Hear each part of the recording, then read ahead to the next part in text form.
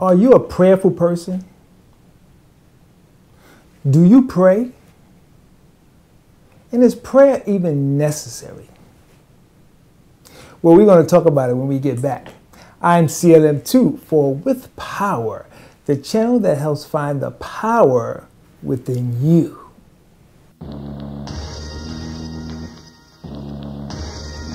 Hey, happy Monday. We hope everyone out there had a great weekend. It was a beautiful, beautiful weekend. Hey, went out, uh, did some shopping, walked around, you know, kind of cleared the head.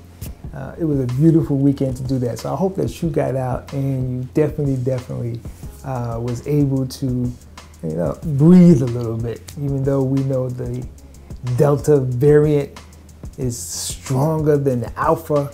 Uh, we hope everyone's out there staying safe and we hope you still was able to get outdoors and enjoy this beautiful weather. Well, this week uh, we're going to talk about prayer. Prayer with power. Um, very, very interesting about prayer because most people, whether they want to admit it or not, do pray. And even those who say that they don't really believe in God or in higher power, um, when they get in sticky situations, they also will pray. Uh, you know, prayer is so, so powerful. You know, people, you know, pray for themselves. People pray for others. Uh, we, if you go to any church, the the preacher, the pastor, uh, the priest, um, whoever, whatever denomination that you go to will ask you to not only pray for yourself, but pray for others, uh, pray for the sick and the shut in. You know, prayer is really, really, really powerful.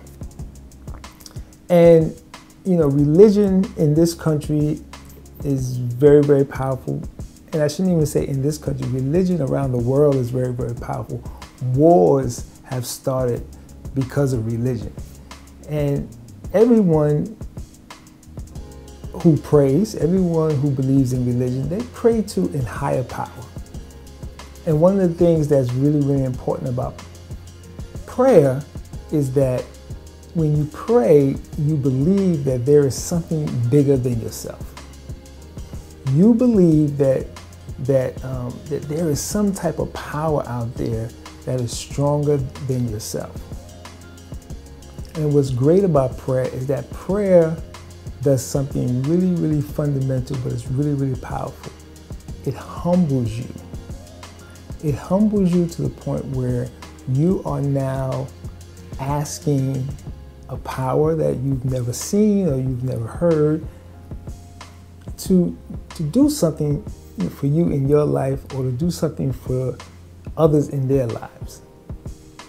So it kind of humbles you. And that's a great thing.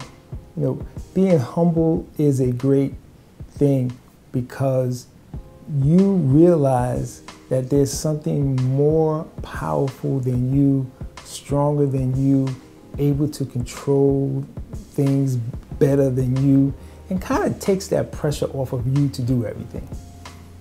One of the things that I like to say to individuals when they're struggling is they, they need to just sit back and, and just pray. Just, you know, pray to a higher power. Now, here's the interesting thing. Um, many people pray differently. Different religions have different ways of praying.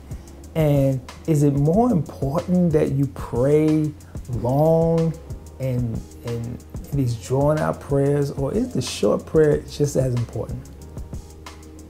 You know what? A prayer is a prayer.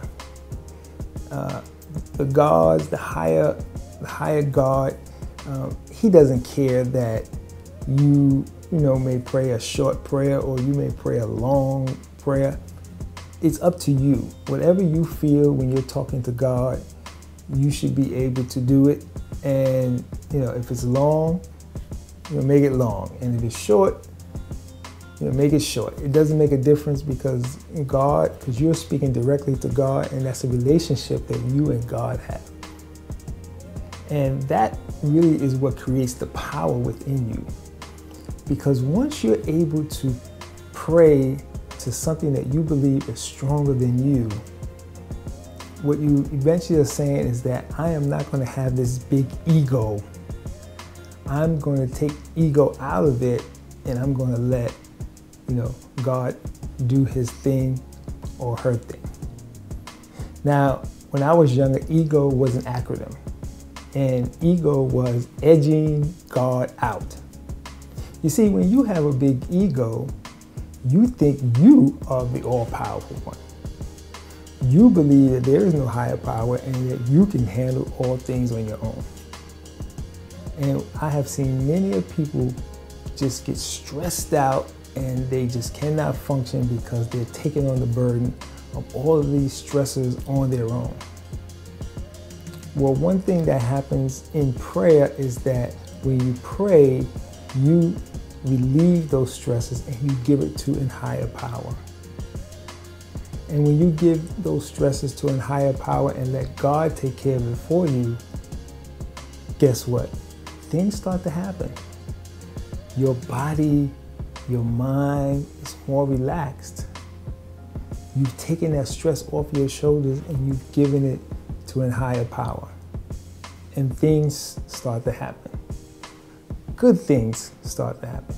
The prayer that you've been praying for begins to manifest itself.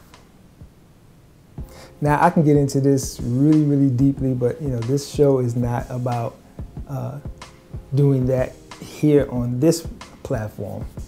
But this is just this show is just to say, you know what? Pray with power. Prayer will make you more powerful.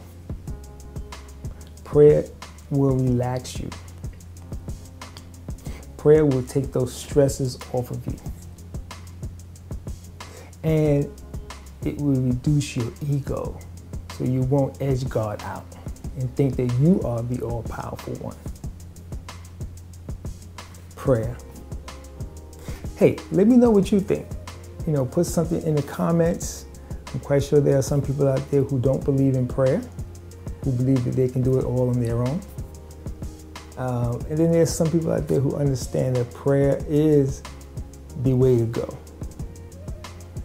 Let me know what you think. Hey, if you like the content, you know what I'm to say. Don't forget, subscribe to the channel, hit that like button, and I will see you next time.